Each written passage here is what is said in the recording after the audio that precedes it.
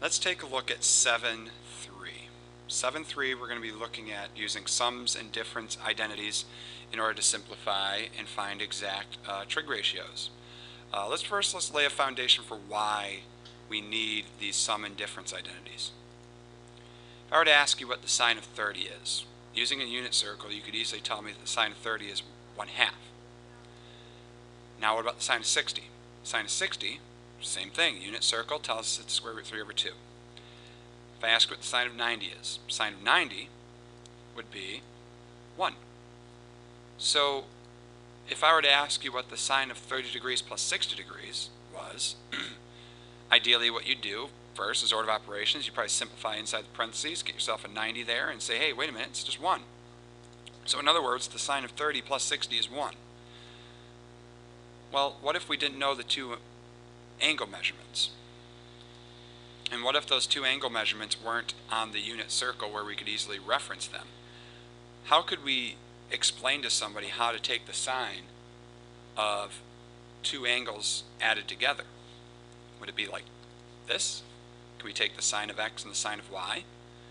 Um, let's see if this doesn't work by seeing if we can give a counterexample. How about we use the example we just had here? Sine 30 plus 60. Let's see if that's equal to sine of 30 plus the sine of 60. Well, if we do the sine of 30 and the sine of, sine of 60, we get the sine of 90. Sine of 30 is 1 half, and the sine of 60 is square root 3 over 2. Simplifying both sides, sine of 90 would be 1, which is not equal to 1 plus the square root of 3 over 2, right? We take an irrational number, like the square root of 3, right here, and if we add a rational number there, we're going to end up with an irrational number. Now if we take a rational add an irrational, get irrational. An irrational number divided by a rational number will be irrational. So there's no way we can get a rational number like 1 to be equal to that irrational number there. So this statement here is false. Likewise, we can make the general statement that this definitely also is not true. And could we say the same thing for other sums and differences like these ones here? We sure can. None of those are going to be true. the same could be said for tangent also. So what do these things equal? That's why we need some trig identities for, for them. Let's look at sine first. If we let alpha and beta represent all the measures of, uh, the measurements of two angles, then this identity holds true for all alphas and all betas here. So the sine of alpha plus minus beta, I'm going to get to that in a second, is equal to sine alpha times cosine beta plus minus cosine alpha times sine beta. What this identity statement here means is that if you're looking at sine of alpha plus beta, which is this symbol here, plus sign, notice it's on top, we must use the plus sign that's also on top there, and we hit use this equation here. Sine of alpha co times cosine beta plus cosine alpha sine beta.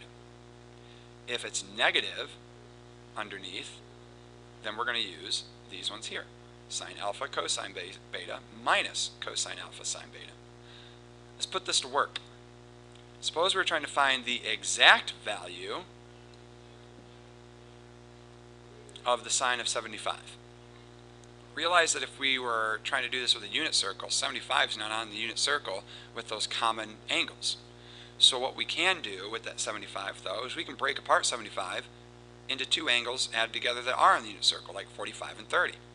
Now since we have a sine and a sum of two sine angles, we're going to use the sine formula. Sine, cosine, cosine, sine. Think about that cadence. We're going to compare that cadence, sine, cosine, cosine, sine, to cosine uh, of alpha plus beta, and you'll notice it'll be a little bit different. So whenever we're dealing with sine of two angles, either added or subtracted, the cadence kind of goes sine, cosine, cosine, sine. So then we throw those in there. Sine 45 cosine 30 plus cosine 45 sine 30. Nice little thing to stop and do before you move on is just double check to make sure there are no repeats. Notice the two signs I put here in red, one's 45 and one's 30, so I didn't repeat there. Cosine 30, cosine 45, no repeats there. Once we have that put in place, now we're going to turn it over to our unit circle. Let's figure out what the sine uh, and cosine are of those given angles. Sine of 45 would be square root 2 over 2. Cosine of 30, that's square root 3 over 2 and we're multiplying those together. And then we're going to add the cosine of 45, square root 2 over 2. Sine of 30, that's 1 half. So we're going to be multiplying first those values and then adding them afterwards. Now one thing that is okay to do here is perfectly okay to multiply two radicals together like that. It's okay to multiply these together. So I multiply those together, get square root 2 times square root 3, that gives us square root 6. Square root 2 times 1 gives us square root 2. And then 2 times 2 down below gives us the 4s. May the force be with you. and then look at this addition here. Now, unlike multiplication, addition, we can't add up those radicals. We're not going to say it's the square root of 8. Uh, so all the best we can do here is just write those side by side, just like that. Square root 6 plus square root 2 over 4. Now, let's take a look at the cosine version of this sums and differences. Something jumps out at me as different right away. Notice the cadence is different. With sine, if we go back here, sine, it was sine, cosine, cosine, sine. Notice here, it's cosine, cosine, sine, sine. That is different. Another thing jumps out as being different here is if you look carefully, look at that, minus plus. That's a bit unusual, looks like a typo. It's not a typo, it's intentional, it's designed to help us know which identity to use when we're doing either a sum or a difference with cosine. Take a look. If the cosine, if we're dealing with a cosine of alpha plus beta, because that is a plus sign here, plus sign on top, we have to use the minus sign, which is also on top there. And then the reverse is true with alpha minus beta. Let's look at an example. Use a sum or difference identity to find the exact value, so no decimals allowed, of the cosine of 735. a big angle like 735, we could make a lot of work for ourselves and try and come up with two larger angles to add up to 735. That's fine. Uh, but I think we can make this lot work a lot simpler if we just realize that 735 is coterminal to another angle between 0 and 360. So how do we figure that out? How about we subtract 360 from it, and then that's still not good enough. How about we subtract another 360? So essentially we're subtracting 720 from 735, which gives us 15 degrees. So here's the skinny of it. Cosine of 735 is no different than finding the cosine of 15. So let's find the cosine of 15. Now, I think the most direct way to using two unit circle angles to arrive at 15 degrees is if we do 45 degrees minus 30 degrees. We could do 65 minus 45, and here's the beauty part about this. If you use 65 and 45, you would still get the same correct answer as we get when we're going to be doing 45 and 30. So 45 minus 30. Now reminder, we're going to be using a difference identity for cosine. So looking at that difference identity, because it's minus here, we need to use a plus sign here. So we want the one that's being added here. So cosine cosine plus sine sine. Turn it over to our unit circle. Square root 2 over 2 times square root 3 over 2 plus square root 2 over 2 times 1 half. Top times top right here. Wait a second, this looks familiar. Square root 6. Down below we get a 4 because 2 times 2. Here, plus sign, square root 2 over 4. Hmm. Get our final answer here. If we flip back, square root 6 plus square root 2 was exactly the same as what we did with the sine of 75. Interesting, got the same answer. So here's a little bit of a tip, ladies and gentlemen, when you're working on these problems here with sines and cosines only, is that pretty much every single time you're going to get a 4 here. The reason why you're going to get a 4 is because when we're using these unit circle angles here, every single one of them is always going to have those 2's down there. So it's going to make sense that we're always going to end up with a 4 down there. And then we're going to end up with a lot of square root 6's and square root 2's because of all this nature we're getting here because of these angles we're using here. Right? So when you're trolling through these problems here and working with these here, always remember that a lot of cases is going to end up with square root 6 and square root 2's. Now, will it always be positive square root 6 plus square root 2 over 4? No. No, it depends on where you're located here. Let's take a look at some more examples. Cosine of 165. What two unit circle angles would make sense to use here?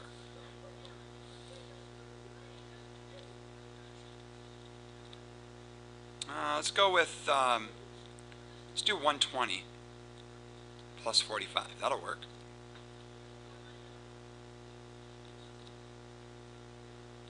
Now, because this is cosine of 120 plus 45, the identity dictates that we have to use a minus sign here with our formula.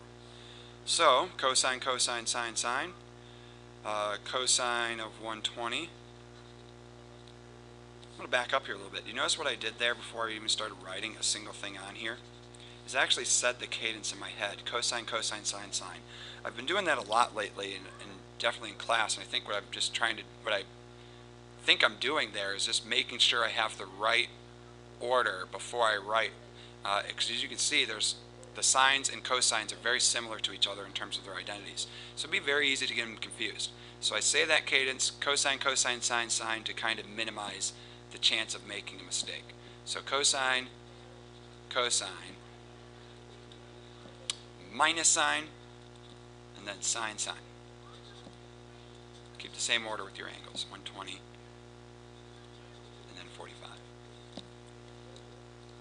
degrees in there. All right, let's use the unit circle. Something interesting happens here. When you look at 120 degrees, notice that the cosine is actually uh, negative 1 half cosine 45, square root 2 over 2, minus sine, sine of 120. If you go to that same spot in that unit circle where the negative 1 half was, notice the sine there was actually positive, square root 3 over 2, and sine of 45, square root 2 over 2. Now it's time to multiply. We have negative square root 2.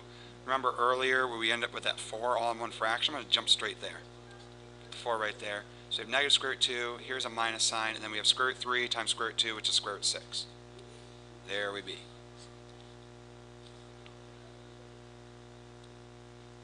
Sine 15. Let's look at that one as, I don't know, sine of 45 minus 30.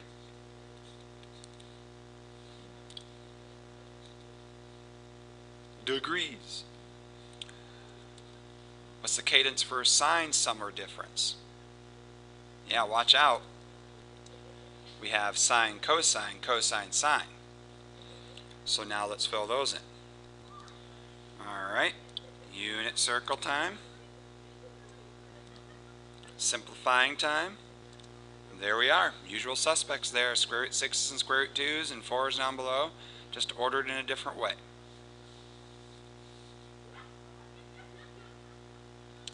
Now, we'll talk about tangent here in the next video.